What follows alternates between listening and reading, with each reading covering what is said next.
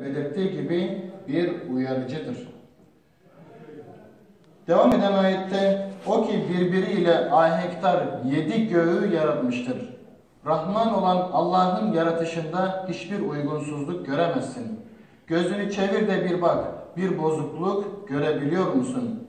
Sonra gözünü tekrar tekrar çevir bak, göz aradığı bozukluğu bulmaktan aciz ve bitkin halde sana dönecektir. Allah'ın yaratmış olduğu alem mükemmeldir değerli kardeşlerim. Delili de burada işte.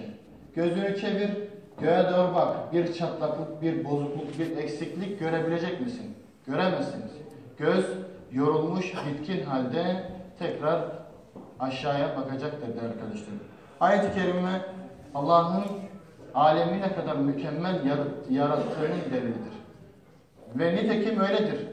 İnsanın nefes alışverişinde dahi Allah'ın delili vardır. Aldığında verme gücüne sahip değilsin, verdiğinde alma gücüne sahip değilsin. Yine devam eden ayette andolsun ki biz dünyaya en yakın olan göğü kandillerle donattık. Bunları şeytanlara atış taneleri yaptık ve onlara alevli ateş azabını hazırladık. Rablerini inkar edenler için cehennem azabı vardır. O ne kötü dönüştür. Oraya atıldıklarında onun kaynarken çıkardığı uğultuyu işitirler. Neredeyse cehennem öfkesinden çatlayacak. Her ne zaman oraya bir topluluk atılsa onun bekçileri onlara size bu azap ile korkutucu bir peygamber gelmemiş miydi diye sorarlar. Sizi uyaran bir peygamber gelmemiş miydi diye sorarlar. Bize de soracaklar. Size bir peygamber gelmemiş miydi? Geldi. Hz. Muhammed sallallahu aleyhi ve sellem 23 yıllık e, vahiy hayatında yemeden, içmeden, uyku uyumadan, rahat etmeden bize Kur'an'ın dediklerini, Allah'ın dediklerini, Allah'tan getirdiklerini anlatmaya çalışmıştır ve elimizde Hazreti Peygamber'in bize gönderdiği, Allah'tan getirdiği kitap şu anda elimizde değerli kardeşlerim.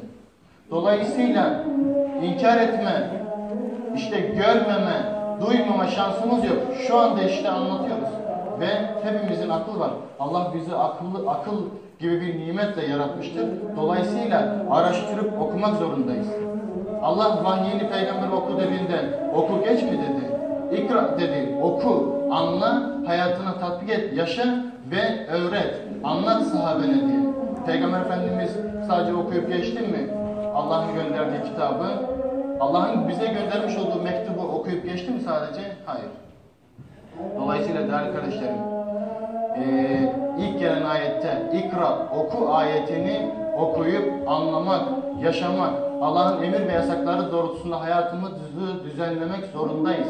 Nitekim Peygamber Efendimiz de öyle yapmıştır. Okuyup geçmemiştir, anlatmıştır. Ne, yine e, diğer ülkelerin liderlerine mektuplar göndermiştir. Allah'ın dinine gelin diye. Biz Allah'ın dinini bulduk, yaşıyoruz, şu anda Müslümanız ama hakkıyla yerine getirmiyoruz. Şu Kur'an'ı hakkıyla okuyup anlamaya çalışmıyoruz değerli kardeşlerim. Bu Kur'an'ı daha çok okumalıyız, daha çok anlamalıyız ve içindekileri hayatımıza yansıtmalıyız değerli kardeşlerim. Onlar şöyle cevap verirler. Evet doğrusu bize bu azabıyla korkutan bir peygamber gelmişti. Fakat biz onu yalan saymış ve Allah'ın bir şey gönderdiği yok. Siz olsa olsa büyük bir sapıklık içindesiniz demiştik. Ve şayet kulak vermiş veya akıllımızı kullanmış olsaydık şimdi şu alevli cehennemin mahkumları arasında olmazdık diye ilave ederler. Böylece günahlarını itiraf ederler. Artık Allah'ın rahmetinden uzak olsun o alevli cehennemin mahkumları. Fakat daha görmeden Rablerinden azabından korkanlara gelince fakat daha Rab, görmeden Rablerinden korkanlara gelince onlar için gerçekten hem bağışlanma hem de büyük mükafat vardır. Rabbim bizi cennetiyle, rahmetiyle muamelelesin inşallah. Ayet-i Kerime Mülk suresinin 12. ayeti kerimesi.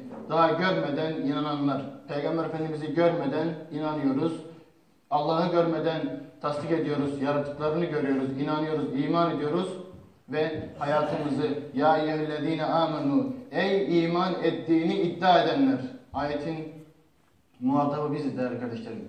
İman ettik değil mi? Ettik. İman ettiğimizi iddia ediyoruz ve dolayısıyla bunu da ispatlamamız lazım amellerimizle, hayırlı işlerimizle. Subhane rabbike rabbil izzeti amma yasifun ve selamun alel murselin velhamdülillahi rabbil alemin. El Fatiha.